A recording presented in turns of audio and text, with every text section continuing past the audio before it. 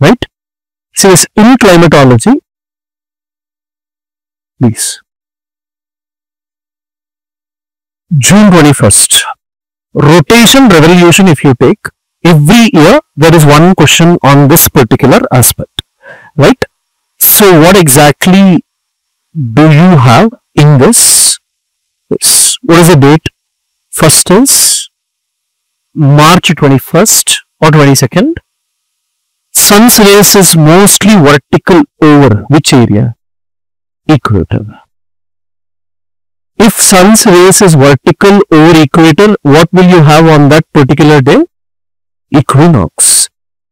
And what is the meaning of equinox?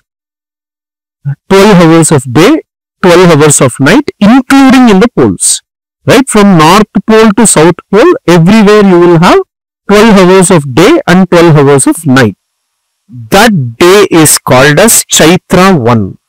Okay, Chaitra 1 in Indian calendar is March 21st or 22nd. And on this date, you will have maximum rainfall near equator. Right? Where will you have maximum rainfall? Maximum rainfall on this day